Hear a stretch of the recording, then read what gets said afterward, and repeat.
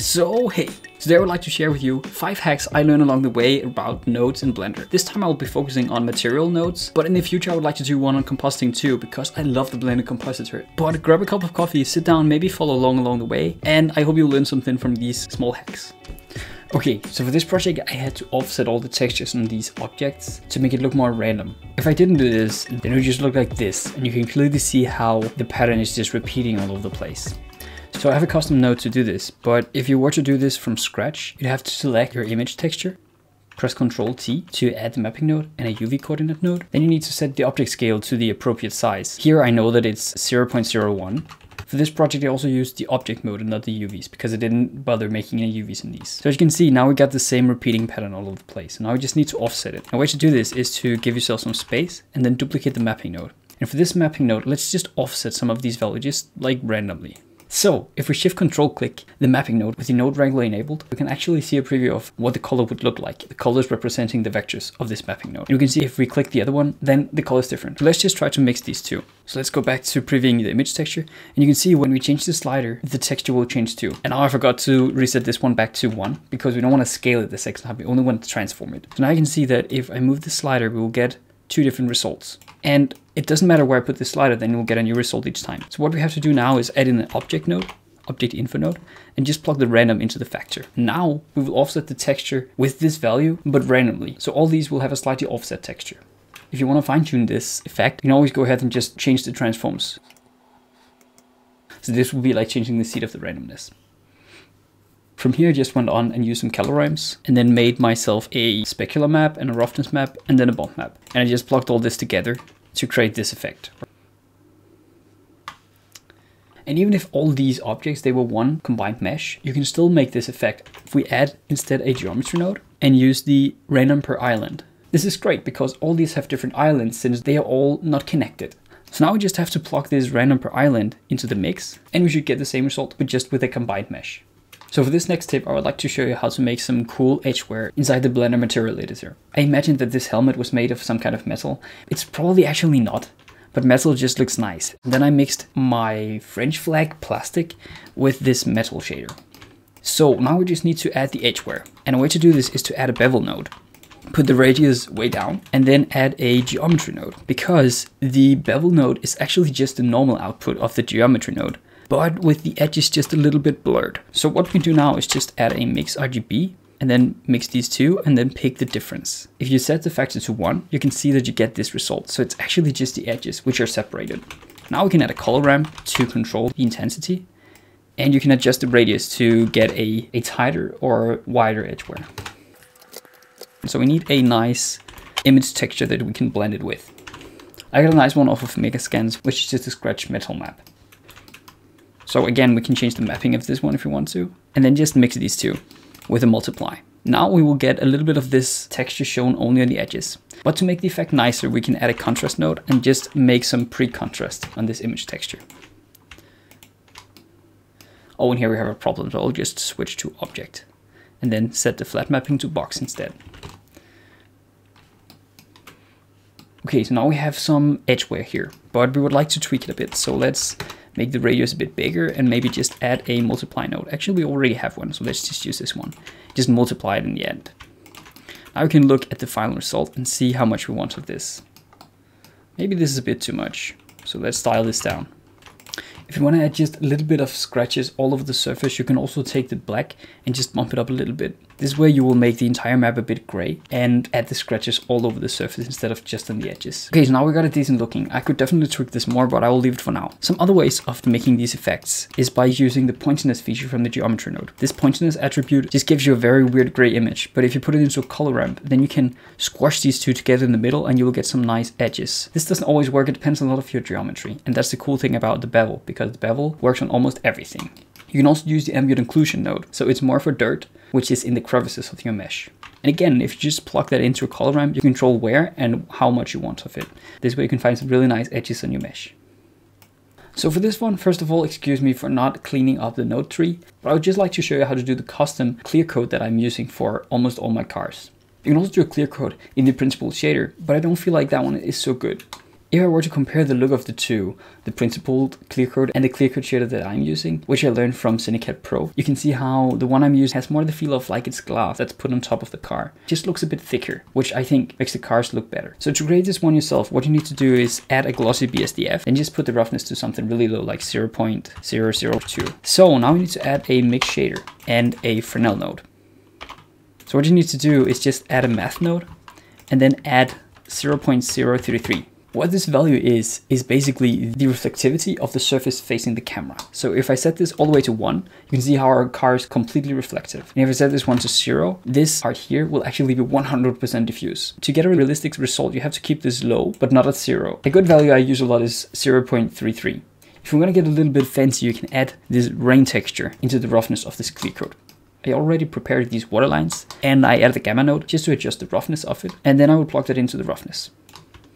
And now when we look at it, you see all these splashes on top of the car, which looks very nice, I think.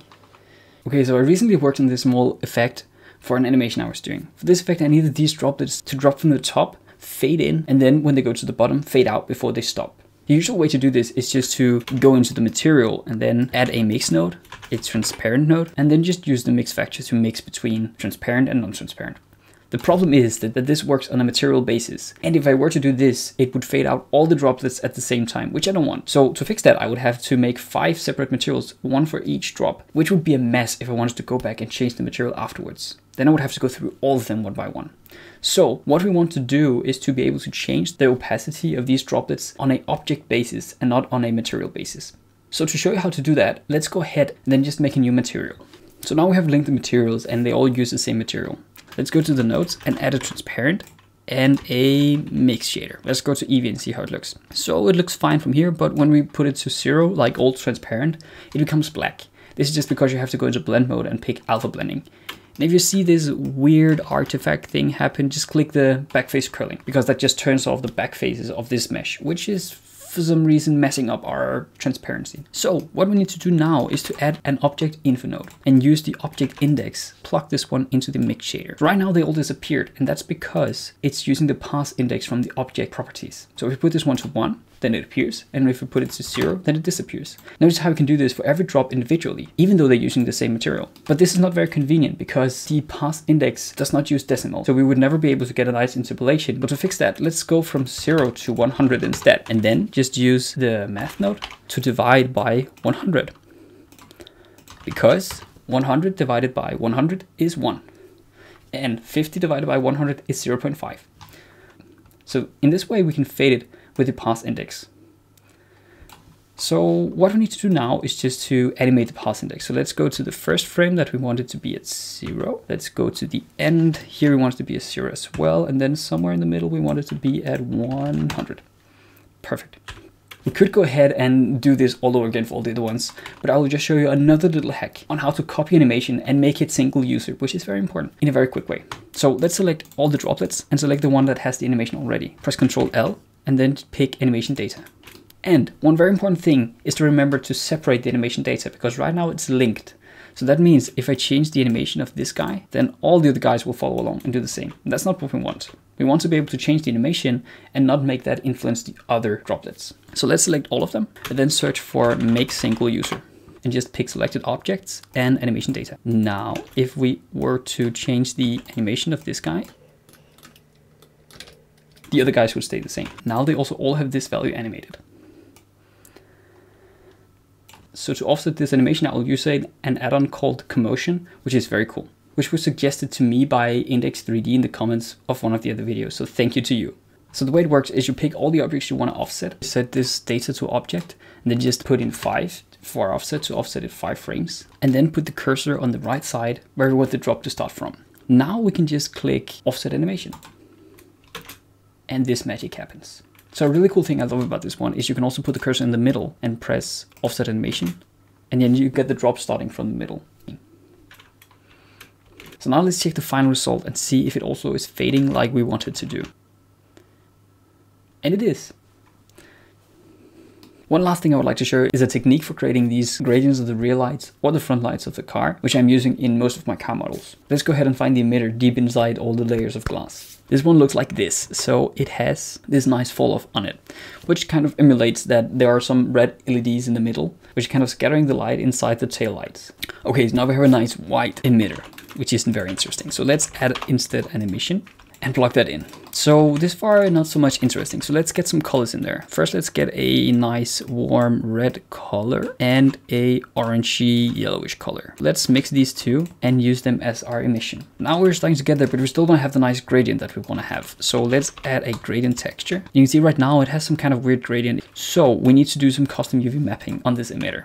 So the object is like this. And if you just are to UV map it randomly, you would get some kind of mess like that. We need some kind of straight lines so we can easily map a gradient onto it. So what I usually do is to add, to select a like a master face, then press reset, which will reset everything into a square and now just use the follow active quads and then have remember to have the like the master poly selected this way we'll get this nice square look, which is very easy to kind of map a gradient on top of. Let's just make it fill up the UV space. And you can always put this one to through 2D cursor, then it's easier to maneuver everything. Scale it down and then maybe up here. Now we can make a gradient from the top to the bottom. So first of all, what we need to do is use the UV coordinates instead of the generated ones. So let's plug the UV into here. Now we have the UV, but it's not really doing what we wanted to do. But let's add a color ramp to see what's going on. Let's start to push these. Yeah, now we see the problem. We can just add a mapping node and rotate the C 90, no, minus 90. Yeah, that was what we wanted. Okay, now let's start to get that look down. And usually I like to use the B-spline interpolation because it's it's much smoother. And I also tend to use white in the middle and black to the sides.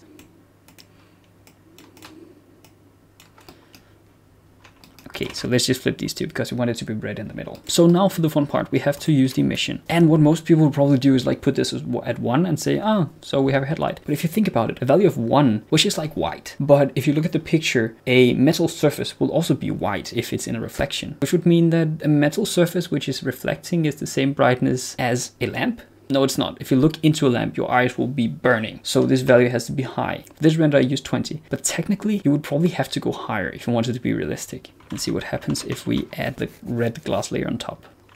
This is almost transparent, but it's just a little bit of red in the glass. Then it adds a lot of color. So even though this is almost yellow, it becomes red when it has the glass on top. And well, that's that's it.